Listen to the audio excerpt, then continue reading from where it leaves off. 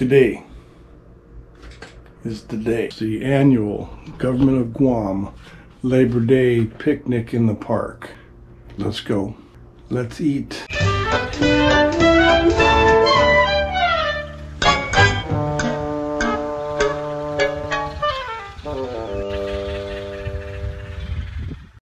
Every Labor Day, the government of Guam pulls out all the stops where all government agencies come together and enjoy a day of relaxation, food, fun, and some friendly competition. So I want to say thank you from the bottom of our hearts for all that you do, your commitment, your loyalty, your support, your love for our people and our culture, because that's what we're all about. We are about family. We are about children. We are about our culture, our traditions, our practices, our security and safety. Labor Day is a chance for all to celebrate the employees and all their hard work throughout the year. From department tug of wars and agency line dancing competitions to the director's coconut husking competition, it's a full day of events with the goal of promoting camaraderie and morale. The kids have plenty of activities to keep them busy too, from rock climbing to bouncy houses and a petting zoo. There were cornhole games and volleyball. There was footballs and frisbees being tossed about, but mostly people just gathered, ate, relaxed, and enjoyed each other's company. Next to Guam's Liberation Day celebration, this is probably one of the biggest annual parties on the island. I equate this day to like a fiesta on steroids, and if anybody knows how to party, it's Chamorros and Guamanians alike. Because of all the background music and potential copyright issues recording this video, it's hard to do a walk and talk. So I'm just going to leave you with the sights and memories of what makes this such a great day on this island. On the island of Guam, there are coconut trees. It's a beautiful place when the moon is shining over the seas. It's a paradise in Guam. Friendly people